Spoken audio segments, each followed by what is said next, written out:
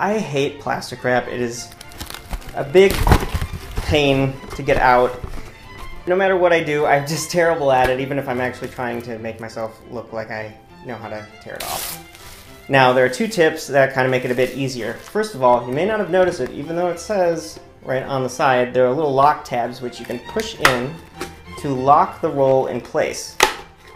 When you push those in, it holds it a little bit so when you're trying to pull the wrap out, the roll doesn't come flying out of the box. You'll have a little slightly easier time getting the wrap out in an even manner.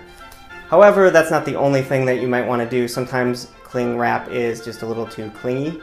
And if you want to get rid of that clingy nature to some extent so you can pull it out smoothly, you can just stick it in the freezer. The cold helps the wrap from clinging to itself a little too much, and then you can pull it out easily. Unfortunately, this means it won't always cling to what you want it to as well as it might normally, but if you're just putting it on a plate of leftovers or over a bowl with a rubber band, it'll do the job just fine.